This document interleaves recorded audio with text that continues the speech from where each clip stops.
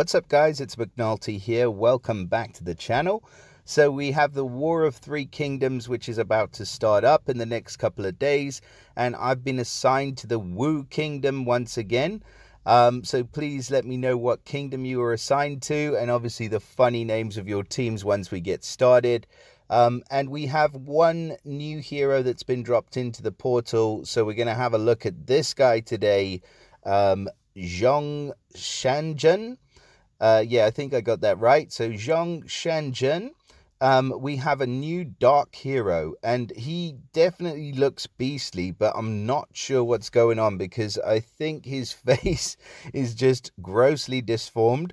Um, so I'm not sure if that's an error in terms of the art that they've done or if that's the way he's supposed to look. Haven't looked at the history on this hero either, but I'm sure that there's some kind of history behind him. Also, not sure where that little horn's gone, sort of disappeared into his hair. So, without any further ado, let's have a look at this guy. Let's see what he does. Let's see whether he's going to stand the test of time um, or whether he's just going to be a flash in the pan. So, first of all, he is of the Paladin class, so he's got the chance to withstand or defend or put defense up when he takes damage from any sort of special skills. It's a pretty decent tank if uh, class if you're looking to use him as a tank. Um, and he is of the Journey family, so he's one of the Journey heroes. They do get a bonus for one, two, or three heroes, which is a 50% chance to increase the duration of any status effect he casts uh, by either one, two, or three turns. Um, so that's a pretty decent bonus that he gets um, from the Journey family. Um, and he obviously is going to be dealing some kind of status ailment. So we'll have a look and see what he does in just a sec. Now, in terms of stats, we are looking at without the max power preview, 735 attack, 877 defense, so nice high defensive stat, and 1532 health. If we do go ahead and switch the max power preview on, we're going to get nearly a thousand attacks, so that's pretty okay. I mean, obviously his attack is lower anyway, He's got 12, 15 on the defense and 2,000, over 2,000 health. So he is going to be survivable. He does also benefit from the healing increase, um, ether talent. So that means that at the start of the battle, he'll get 50% increase for any healing received for six turns. So that is a pretty decent one, um, especially if you're bringing him on a team which is sort of healer heavy um, he, any healing that goes off, including healing that he would cast, um, is going to be increased by 50% for the first six turns. So that is a good ether talent right off the bat for him. Now, in terms of the special, we are looking at Fury of the Mountain Lord. Cool sounding special. He's running at average speed and he at average speed will be reducing the max health of the target and nearby allies by 800 over four turns. That's a pretty decent reduction. And sorry I'm going back and forth. I just want to make sure that you guys can see this horrible looking hero. he reduces the max health by 800 over four turns. All right, so that's about 200 health reduction per turn. Then the caster and nearby allies regenerate 800 boosted health over 4 turns. So this is going to work in conjunction with the heal increase. If you do add second limit breaks, it'll mean he's getting an extra 50% health uh, boost over those 4 turns. And the boosted health can obviously exceed max HP. So it's 200 health reduction per turn for the enemy, for all enemies. And it's it's 200 boosted health um, for all allies. So that's pretty cool. Um, the target and nearby enemies get minus 24% mana generation for four turns. Okay, so this one's to the target and nearby. He's reducing their mana generation by just the right amount to make it really annoying. And the caster and nearby allies get plus 24% mana generation for four turns. All right, so this is an interesting hero.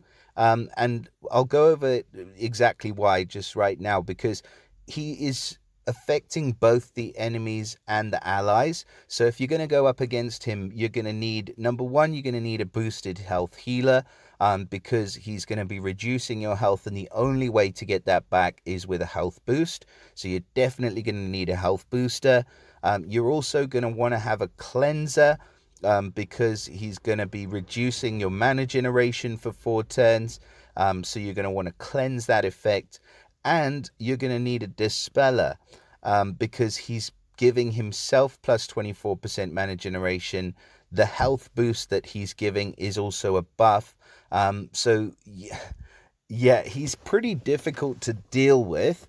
Um, however, the saving grace for this guy is that he's not dealing any direct damage. So the health reduction is, I mean, it can be seen as direct damage, but it's not really direct. It's more of a damage over time effect. So if you do have a counter to that, either a cleanse ready to go straight away, um, you'll probably only lose 200, maybe 400 if it takes you a turn to get that health, uh, that cleanse uh, going. Um, and then the health boost um, is sort of a counter to him as well. Um, so yeah, I'm not 100% sold on this hero. I think that the other heroes that are in this portal at the moment are a lot better in a lot of different ways. Um, he there is I can see an argument made for him being a really good tank. I mean, if you do get your hands on him, he's probably going to frustrate people if you did pop him in the tank position. Um, but I would sort of struggle to find many areas of the game other than in wars where I think this guy would be particularly useful. Um, so yeah, number one, not a fan of the art. Uh, number two, not the hugest fan of the special. I mean, let me know if you think I'm missing something. But um, overall, I think this guy is a pretty sort of average hero, even though he's doing so much um, compared to some of the other heroes that we've got in this portal. Now, Xiong Shanjun is not featured, so the featured heroes are Queen Guowang, who is absolutely incredible. Not a fan of her ether talent or ether power, though. Um, Erlang Shen and this guy I'm growing to love more and more. Um, I didn't manage to get my hands on him, but certainly facing him, I can see he's he's an absolute beast. Um, so a great hero, and then Sun Quan, who is amazing as well.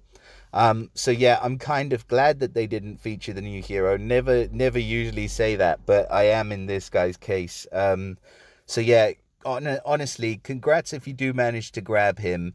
Um, but I think if it was me pulling in this portal, I'd be more focused on the other featured heroes. So I think that's pretty much all I've got to say about Xiong Shanjun for now. So I wish you guys all of the best in your War of Three Kingdoms. Hopefully, you're managing to build up some extra teams to get to that 12 team um, cap that you need for this event. And um, I wish you guys all the best in your summons as well. So I'll see you all again next time. Bye for now.